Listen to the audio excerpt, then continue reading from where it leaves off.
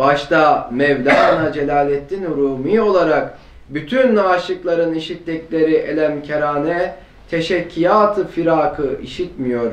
Belki zat-ı hayyim, hayy kayyuma karşı takdim edilen teşekkürat-ı rahmaniyeyi ve tahmidat-ı rabbaniyeyi işitiyor. Madem ağaçlar birer ceset oldu, bütün yapraklar dahi diller oldu. Demek her biri binler dilleriyle havanın dokunmasıyla hu hu zikrini tekrar ediyorlar. Hayatlarının tahiyyatıyla saniin hayy kayyum olduğunu ilan ediyorlar. Çünkü bütün eşya la ilahe illahu deyip kainatın azim halkay zikrinde beraber zikrederek çalışıyorlar. Vakit be vakit lisan-ı istidad ile Cenab-ı Hak'tan hukuk hayatını ya hak deyip hazine-i rahmetten istiyorlar. Baştan başa da hayata mazhariyetleri lisanıyla ya hay ismini zikrediyorlar. Evet. 18'e mi geldi? Çevir bakayım. Evet oraya yok. Az bir şey. Bir vakit Barla'da, Çam Dağı'nda yüksek bir mevkide gecede semanın yüzüne baktım. Gelecek fıkralar birden hutur etti. Efendim biraz önceki okunan yerde Mevlana Cennet Rumi Hazretleri misal verdi ya efendim. Aşk kavuşamamak mı efendim? Tüm Aşk aşklar- şiddetli muhabbettir. Risale-i Nur'un tarifi aşk şiddetli muhabbettir. Şiddet- Şiddetli bir muhabbet.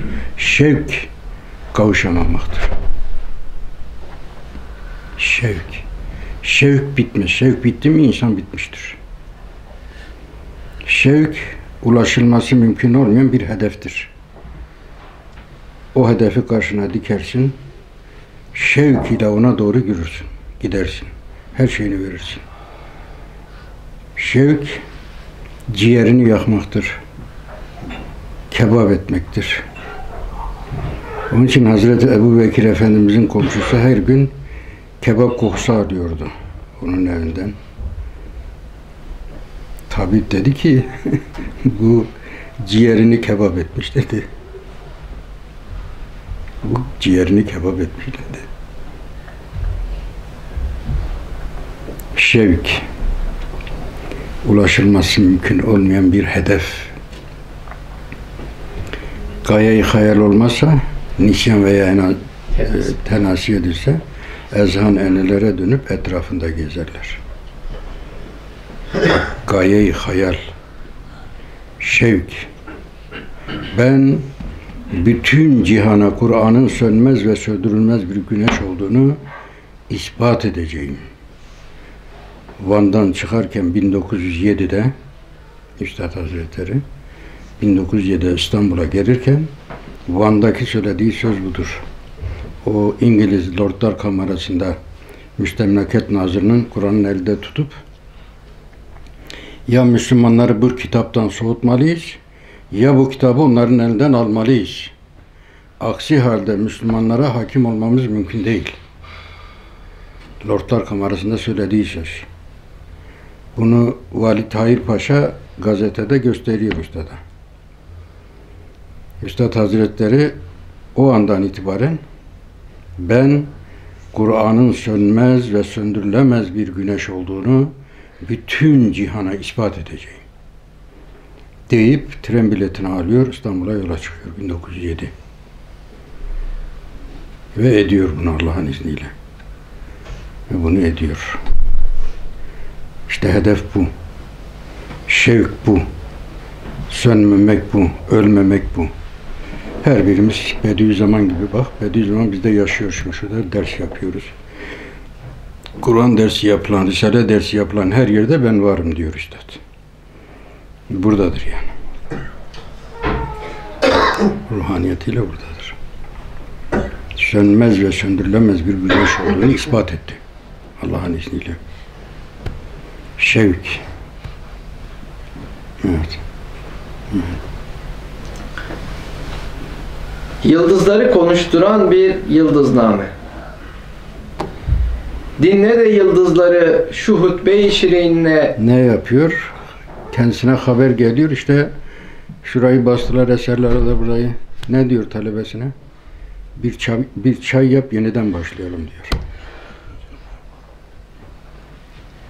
Geceli bir çay koy diyor. Yeniden başlayalım. Şevk. Durma yok. Tıkanmak yok. Bitmek yok. Korkmak yok. Ümitsizlik yok.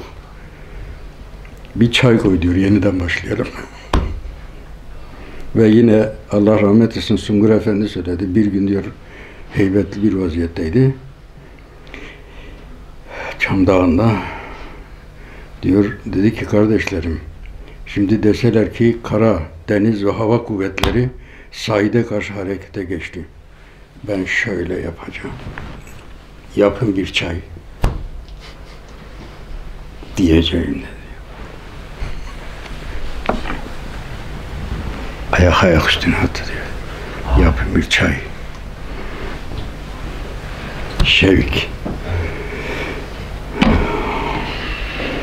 Bizim Sadi Baba Allah taksiratını affetsin. İki Alevi vardık. Biri gitti, biri ben kaldım.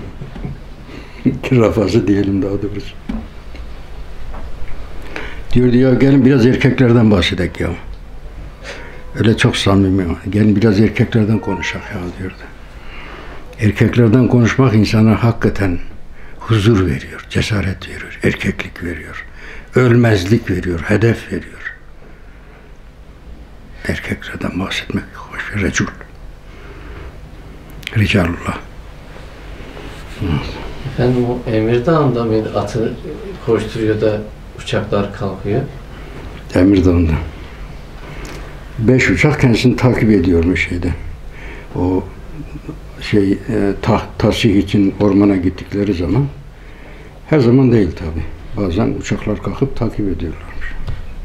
Eski uçaklar pırpırdı ben onları hatırlıyorum. Pervaneli. Şimdiki bu ziraatta kullandıkları uçaklar gibiydi. Pırpır yerde yakın böyle uçabiliyorlardı. Evet.